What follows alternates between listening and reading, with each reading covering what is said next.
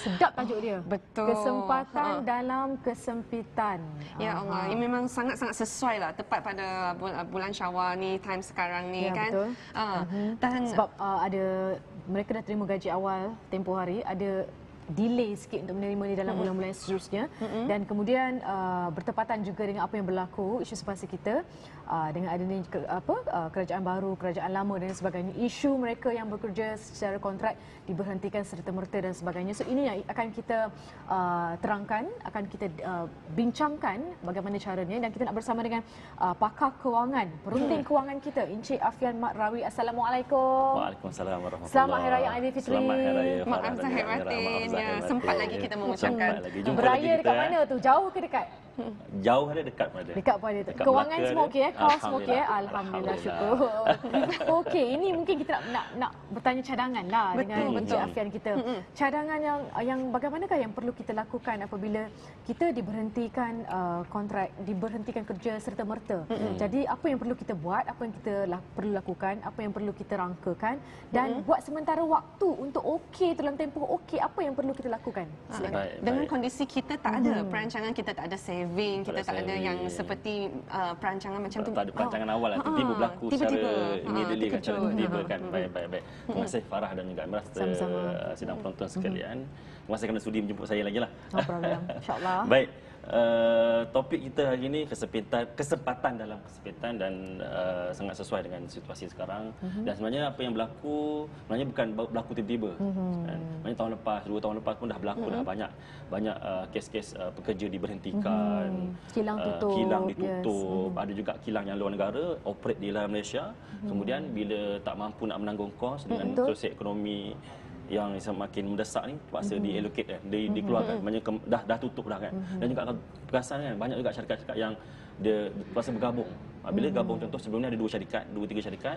Ah, contohlah dua syarikat bergabung jadi satu syarikat daripada dua CEO jadi satu CEO Okey. daripada dua CFO jadi Ya. satu CFO jadi Okey. of course akan ada yang terpaksa diberhentikan. Ya, terpaksa tepat. di yalah ditambahkan kontrak dan sebagainya CEO tu pun Ya diberhentikan. betul kan, betul memang itu itu situasi yang yang berlaku Reality. macam sekarang ni pun banyak juga reality. situasi yang, yang letak jawatan dan sebagainya. Baik, saya suka nak menyentuh uh, topik ini saya nak bawa satu kisah. Uh, Wah. jutawan sandwich. Jutawan tadi Jutawan pagi tadi sarapan sandwich. dengan sandwich tak? Tak. Minum je. Minum je diet eh.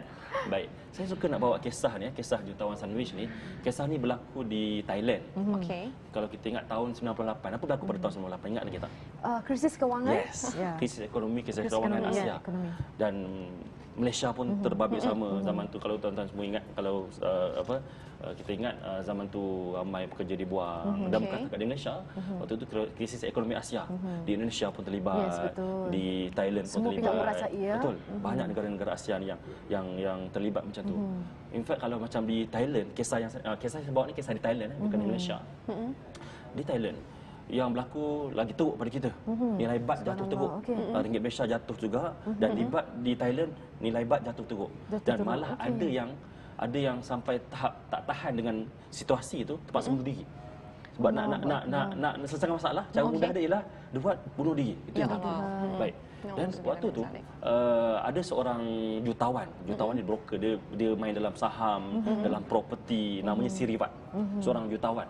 Harta dia masa tu ialah 100 juta bat. Banyak tak? Tu dia. 100 juta. Oh, 100 juta bat dan target dia masa tu ialah nak target 1 bilion. Satu bilion. Pada ada 100 Okey. juta ni, target dia nak tempat 1 juta, eh 1 bilion. Tapi dalam tahun 98. Sam- 1998 dah Okey, sekitar. yes, okey. Waktu tu, apa dia buat ialah dia buat pinjaman, buat macam-macam, dia buat projek. Masa- Waktu berlaku krisis ekonomi tu, dia tengah dalam projek nak bangunkan satu kondominium ataupun hotel. Okey. Melibatkan banyak kos dan dia pun ada buat banyak pinjaman daripada bank-bank dan ketika ekonomi ekonomi uh, teruk tu, kadar pinjaman bank kadar interest dia 17% tinggi. Ha. okey, baik. 17%. Dan ketika itu jugalah mat- bisnes jatuh teruk.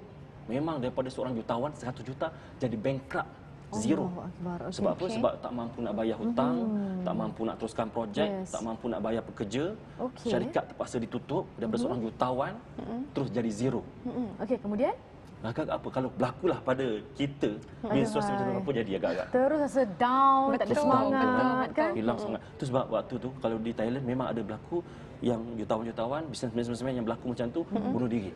Okey. Yalah, Alhamdulillah dekat Malaysia tak berlaku. Memang Mhm. berlaku juga bisnes bila tutup dan sebagainya. Cuma tak, tak dengar lah zaman tu yang Mhm. sampai ada orang yang bunuh diri disebabkan krisis ekonomi. Tapi dia berlaku di Thailand. Mhm. Mungkin waktu uh, situasi Malaysia berbeza kan. Baik. Ketika tu Siribat bila dah jatuh, dia pun umumkan pada pekerja dia, terpaksa berhenti, syarikat terpaksa tutup, dia pun balik. Yalah, memang sedih lah. Kan? Hari tak akhir dekat syarikat, dia bagi tahu, dia bagi ucapan dekat pekerja-pekerja dia. Dia bagi tahu syarikat terpaksa ditutup. Kan? Dan sebab apa? Sebab tak mampu lagi nak tangguh kos, tak mampu lagi nak bayar gaji pekerja. ya. Baik. So kemudian berpisah semua, dia pun balik ke rumah. Balik ke rumah, dia pun bagi tahu dekat isteri dia apa yang berlaku dan memang down lah. Dan kemudian isteri dia bagi cadangan. Apa nak buat esok? Dah tak ada kerja ni. Kan? Dah tak duit tak ada. What's next? Ha, Ah. kerja tak ada, syarikat tak ada, pekerja pun dah lari. Dan adalah dua tiga orang pekerja yang mesti stay kan dia sebab bukan stay sebab apa sebab cari kerja lain pun tak ada. Kan ada lah dalam 10 Ekonomi orang. dengan down. Ha, sebab pekerja-pekerja tadi nak cari kerja tempat lain pun dah tak ada. Dah tutup dah syarikat. Okey. Baik dia pun bincang dengan isteri so meniaga. Tak meniaga apa? So apa dia buat ialah meniaga sandwich. Okey. Sebab apa meniaga sandwich agak-agak? Kerana semua orang makan sandwich? Thailand orang tak makan sandwich. Oh, okey. Jadi salah.